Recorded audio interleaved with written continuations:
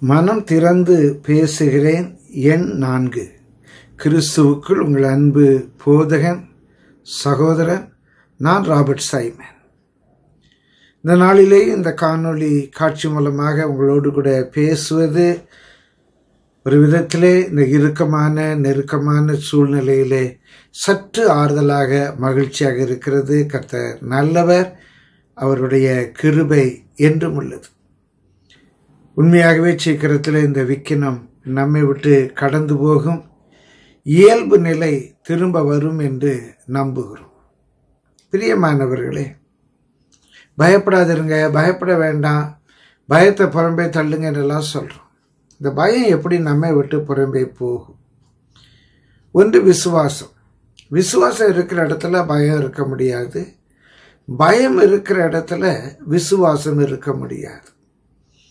இந்த விசுவாசம் நமக்கு கேள்வியினாலே வேத வசனத்தை நம்முடைய உள்ளான மனிதன் அவனுடைய செவிகளிலே விழுவதினாலே நமக்கு விசுவாசம் பிறக்கிறது.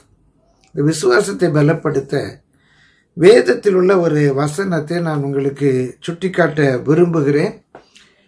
நீங்கள் வாசித்திருப்பீர்கள் எந்த அளவுக்கு நாம் இதை கவனித்திருக்கிறோம் என்று தெரியாது.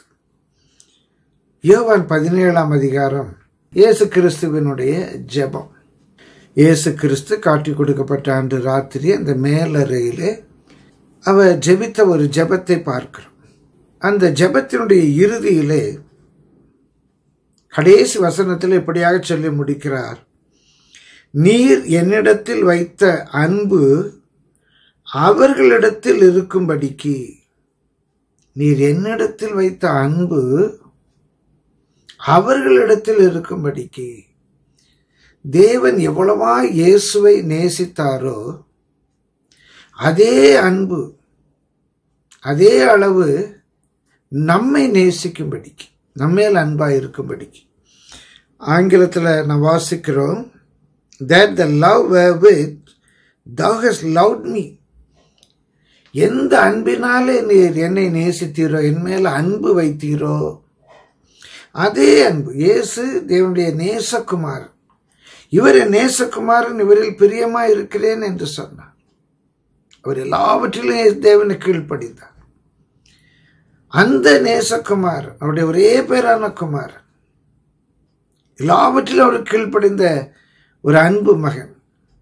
அவரை அவர் எப்படி நேசித்தாரோ எப்படி அன்பு வைத்தாரோ அதே போல அவர் என்னிடத்திலே அன்பு வைத்திருக்கிறார். அதற்காகத்தான் இயேசு அந்த அன்பான தேவனை நமக்கு வெளிப்படுத்தினார். பிரியமானவர்களே அப்படிப்பட்ட ஒரு அன்பு நம்ம மேல் அவர் வைத்திருக்கிறபடியினாலே அவர் அறியாமல் ஒன்றும் நமக்கு நேரிடாது. ஒருவேளை இயேசு கிறிஸ்து சிலுவையின் பாதையின் வழியாக சென்றார். பரிசுத்தவான்கள் எத்தனையோ பேர் அப்படிப்பட்ட பாதைகளில் சென்றிருக்கிறார்கள். தேவன் அவர்களை குறித்த அநாதி தீர்மானம் அவர்கள் மேல் வைத்த அன்பு ஒரு மகிமை அவர்கள் பெற்றுக்கொள்ளும்படியாக. பிரியமானவர்களே தேவன் நம்ம மேல் அப்படிப்பட்ட ஒரு அன்பை வைத்திருக்கிறார். இயேசுவை எப்படி நேசித்தார்? அந்த அன்புக்கு பேர் தான் பூரண அன்பு. நாம் தேவன் மேல் வைத்திருக்கிற அன்பை பூரண அன்பு என்று சொல்ல முடியாது. அந்த அன்பு நம்மிலே பூரணப்பட வேண்டும். அந்த அன்பு நம்மிலே பூரணப்பட வேண்டும். அப்படி அன்பு அவர் வைத்திருக்கிறார் என்று அறியும் போது எவ்வளவாய் அவர் கீழ்ப்படிய வேண்டுமோ எவ்வளவா அவருடைய சித்தத்துக்கு ஒப்பு கொடுக்க வேண்டுமோ அந்த அளவாய் நாம் கீழ்ப்படிய ஒப்பு கொடுக்க ஆயத்தமாக இருக்க வேண்டும். நாம் அர்ப்பணிக்க வேண்டும். நம்மை குறித்து அவருக்கு எல்லாம் தெரியும். நம்முடைய பலவீனங்கள் தெரியும். பேதருடைய பலவீனம் தெரியும். பவுலுடைய பலவீனம் தெரியும். என்னுடைய உங்களுடைய பலவீனம் தெரியும். ஆனாலும் இயேசு என்னோடு கூட இருப்பது எனக்குள்ளாக இருப்பது. தேவன் இயேசுவை நேசித்தது போலவே என்னையும் நேசிப்பதற்காக அந்த அன்பை என்மேல் வைப்பதற்காக. ஒரு மொழிபெயர்ப்பிலை வாசித்தேன் அந்த அன்பை என்மேல் இறங்க பண்ணுவதற்காக. நான் ஜெபம் பண்ணுவோமா? பரிசுத்தாவினாலே அந்த தேவ அன்பு நம்மேல் இறங்கட்டும். தேவன் இயேசுவை நேசித்தது போல என்னை நேசிக்கிற ஒரு அன்பு. அன்பின் இயேசுவே நாங்கள் உண்மையை இந்த அன்புக்கு எங்களை ஒப்புக் கொடுக்கிறோம் பூரண அன்பு பயத்தை புறம்பே தள்ளும் ஆண்டவர். இவ்வளவா எங்களை நீர் நேசிக்கிறீர்.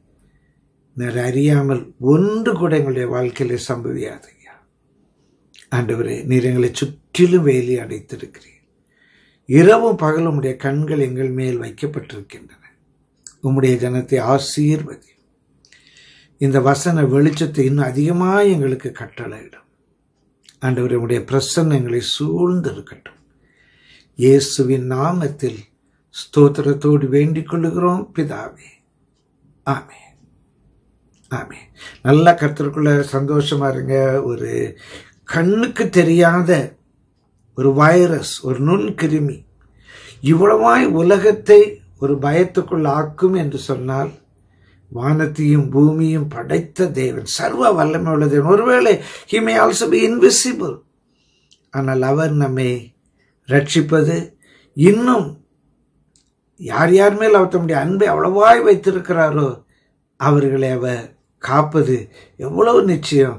தைரியமாயிருங்கள். கத்திரங்களை ஆசீர்வதிப்பாராக. ஆமேன்.